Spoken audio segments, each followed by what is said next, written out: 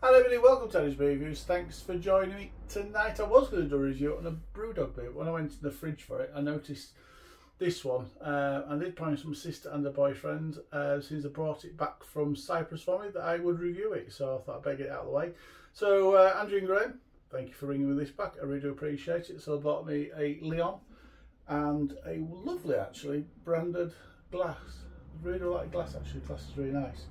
Uh, so it tells me it's Leon, it's got the little logo on there, it tells you on the back that um, I guess it's they started brewing it in 1937.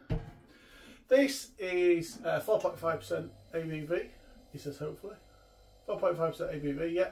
I guess a few of you would have tried this uh, when you've been out there on your holidays and, and uh, that sort of thing. Um, popular out there in Cyprus, so I understand. I think it's supposed to be a little bit like a Pilsner should have done the old tapping, shouldn't I? Uh, I think it's a good little Pilsner, so it should be okay. Uh, but it is a lager. Um, uh, they use lager and um, dark roast malts. So I'm hoping it should have that really nice uh, malty flavour that I really do like from my lagers. Uh, they use German hops, so I think the German hops grown in Cyprus. There you go, little glass. A little bit of beer. We can always top it up, can't we? So, um, beer in a glass. Not poured as, that, as dark as I thought. It's poured a clear, what, clear straw colour, clear golden colour, with good carbonation and a good little white head. Looks good. Let's get a snifter, shall we? Ooh. Smells nice actually. Smells nice. like it might have something about it. Sweet, uh, sweet malt, uh, bit of floral, bit of, bit of citrus in there. Smells nice. Let's taste it, shall we? Cheers, everybody.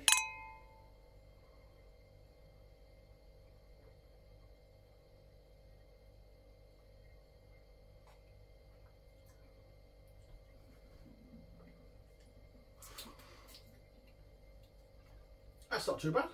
It has got a really nice malty flavour to it. Um, the brewery themselves, they use um, water that comes from their own well and they soften it as well. So it gives a nice soft feel to uh, the lager and it, it does feel nice and soft in the mouth.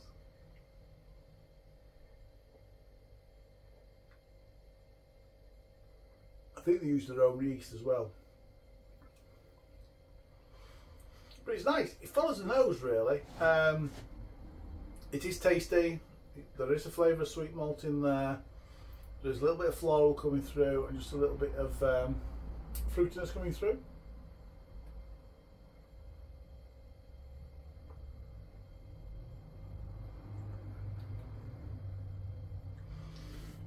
Really nice bitters on the back end, so it's nicely hopped as well. 500 mil can. I thought I was filled up a few times. 500 mil can. Bonus.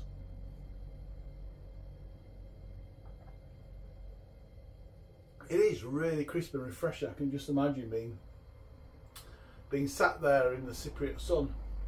Um, just cool yourself down. Four and a half percent. It's nice and sessionable. You can probably get away with drinking this all day and it not really affect you too much. As long as you take it fairly easy. If you hammer it, you'll feel the effect.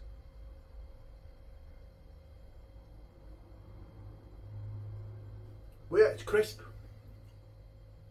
Like I say, it's um, refreshing. It's light. It is even on what is getting to be a darker uh, English day. It's still a really nice drink. Still uh, really easy drinking.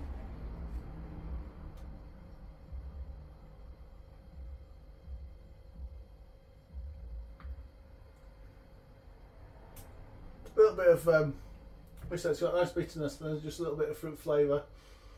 Without bitterness, it's um, bitters is staying around, which is quite nice.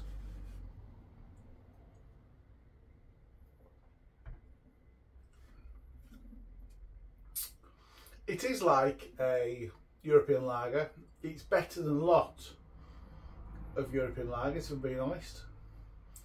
I would happily, I mean, I would happily drink that all day in Cyprus, absolutely no problem. And I would happily score that uh, 7 out of 10. 7 out of 10 from Andy's Reviews. Um, yeah, thanks for watching. Um, comment, like, subscribe, all the usual stuff. More important any of that, wherever you're drinking, please enjoy it. Until the next review, cheers everybody.